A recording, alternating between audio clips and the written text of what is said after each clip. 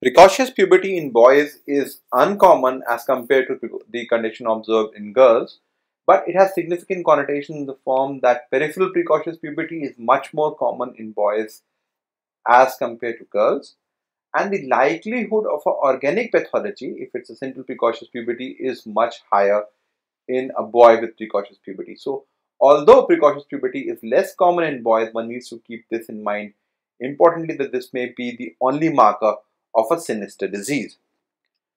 So we'll focus on the when, why and how of precocious puberty. So when do we consider precocious puberty? For that we have to really evaluate the pubertal staging of a child and uh, although there are different stages, the two testicular volumes which are very important in this regards are the testicular volume 4 which means that the child has entered into puberty and the growth spurt typically occurs by a pubertal volume of around 10 ml. The usual age of onset of puberty is around 12 years and it takes approximately 6 years for complete sexual maturity to happen. The most important parameter to assess in terms of diagnosing puberty and to classifying precocious puberty in a boy is the testicular volume and one needs to really compare it with an orchidometer to get an appropriate result. So if you have a volume of 4 ml, it means that the child has entered puberty that is there is enough trigger which has come from both LH and FSH to cause testicular volume to increase.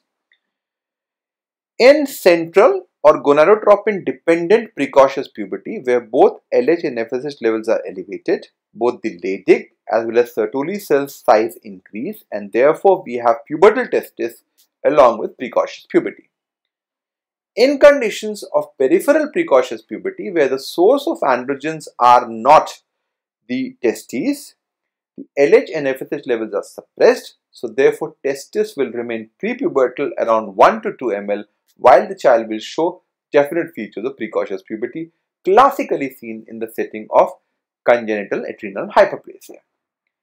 In apparent LH excess states, which are characterized by increased activity of LH in the setting of uh, HCG secreting tumor or testotoxicosis, the Leydig cell compartment of the testis will enlarge while the Sertoli cells will not be enlarged because they are dependent upon FSH secretion. So in these conditions, the testicular volume will be slightly more than what is observed in congenital hyperplasia, but much less compared to central precocious puberty because Sertoli cells account for around two-thirds of the testicular mass. So assessment of testicular volume therefore is the crux as far as differentiating the different causes of precocious puberty in boys is concerned. So, when do we call it precocious? If we have onset which is more than 2 standard deviations score for the particular ethnicity standards and in most cases if it occurs before 10 years of age, one would consider precocious puberty in a boy. The next question which comes to our mind is why does precocious puberty happen? And we are all aware regarding the whole control pathway of the hypothalamus pituitary gonadal axis in which KISS kisspeptin is the central regulator of puberty which regulates GnRH which stimulates pituitary to produce LH and FSH and LH in boys acts on the Leydig cell to increase testosterone production. So only LH excess can also cause precocious puberty in boys in contradistinction to a situation where both LH and FSH stimulation is absolutely important to undergo puberty in girls. Therefore, conditions like HCG secreting tumor would cause precocious puberty in boys but would not cause precocious puberty in girls because FSH levels are not elevated. So from this clinical perspective, we can broadly divide precocious puberty in boys into central precocious puberty or peripheral precocious puberty. Central or gonadotropin dependent precocious puberty typically will have a relatively uh, slower rate of growth will be characterized by pubertal testicular volume, while peripheral precocious puberty is often very rapid and associated with small testicular volume. Central precocious puberty is still large number of children will have idiopathic cause, but the likelihood of finding organic pathology is much more in boys compared to girls including tumor, CNS insults.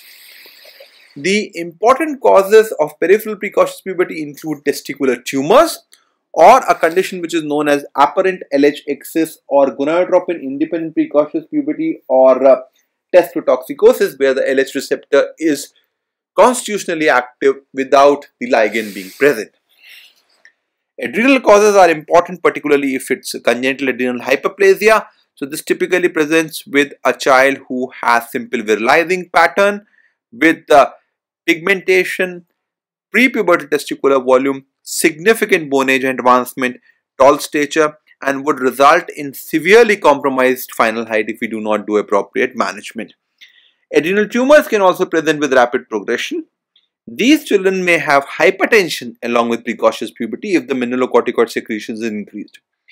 Hypertension and peripheral precocious puberty in boys is also observed in the setting of 11 beta hydroxylase deficiency wherein the DOC and precursors of uh, aldosterone who have potent mineralocorticoid action accumulate and cause increased levels. So now we know the when and why of precocious puberty. In boys, the next question is how do we go forward in terms of evaluation and management of a child with precocious puberty. And in this regards, hormonal assessment is important as far as confirmation is concerned. And for this, ideally we should use LH, FSH and testosterone levels. And we should remember that gonadotropins do have a tendency of pulsatile secretion so in these conditions, we should always have a pooled sample taken 15 minutes apart. So we'll have samples at 0, 15 and 30 minutes which will then be pooled to have a single result so that the pulsatility is done. Testosterone is a good marker of start of puberty. If the levels are going beyond 30, we should think of a possibility of puberty happening. With regards to changes as far as LH and FSH is concerned, we know that FSH levels are less reliable indicators of precocious puberty while LH levels do result in significant elevation during stages 3 and 4. So LH is the best marker and levels which go beyond 0.6 are considered to be pubertal. In individuals where the levels are intermediate, GnRH stimulation test will help us confirm the diagnosis. So the next issue is whether it is a central or a peripheral precocious puberty and the key thing we should point towards a peripheral precocious puberty is that if we have a very rapid course of progression, if there's a discordant pattern which is happening and the testicular volume is small, it is indicative of peripheral precocious puberty. And of course, these children will have low basal and GnRH stimulated LH and FSH levels. Testicular volume as discussed is the most important important parameter to look at in a child with peripheral precocious puberty or a central precocious puberty. If we have pubertal testicular volume which is symmetrically enlarged, it is indicative of central precocious puberty. If we have prepubertal small size testes, it indicates peripheral precocious puberty, a classical case of congenital adrenal hyperplasia. If on the other hand, the testicular volume is intermediate in between these two conditions and the child actually has precocious puberty, one must think that it's the Leydig cells which are actually working and it is secretary of HCG trading tumor or testotoxicosis. And finally, if there is a unilateral enlargement in testicular size, one should think of a possibility of a testicular tumor causing peripheral precocious puberty. So this is a four-year-old boy who clearly has precocious puberty and what do you see? Is the child having peripheral or central precocious puberty? What we are seeing is the child actually has increased penile length and testicular volume is also increased.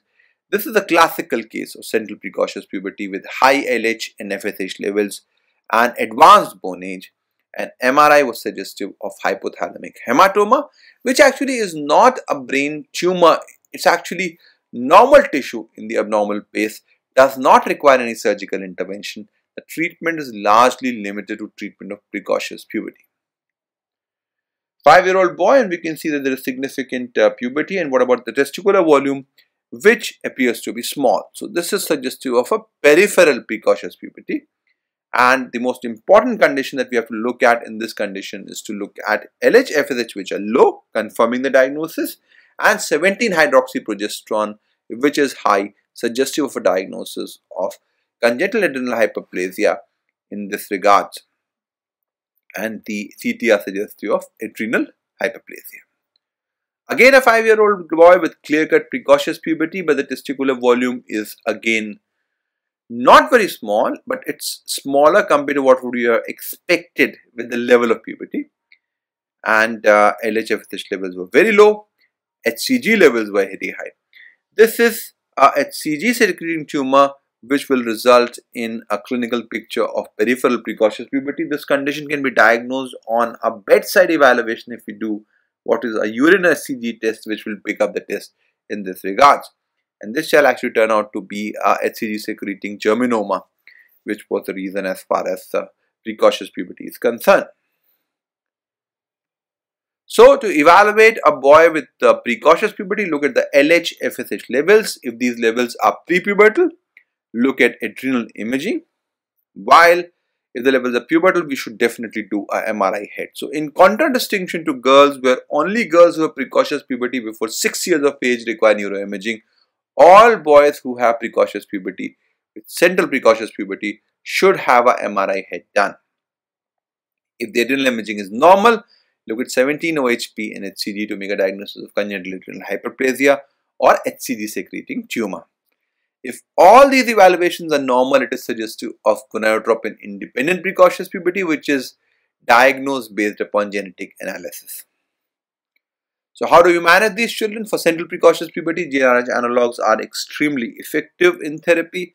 For congenital adrenal hyperplasia, steroids should be given, but if there is a secondary triggered precocious puberty, these children will benefit with the use of GnRH analogs.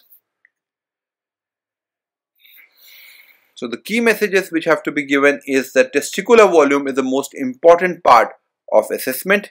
Peripheral precocious puberty is more common in boys compared to girls and neuroimaging should be considered if it is a central precocious puberty. Think HCG secreting tumor in the setting of peripheral precocious puberty.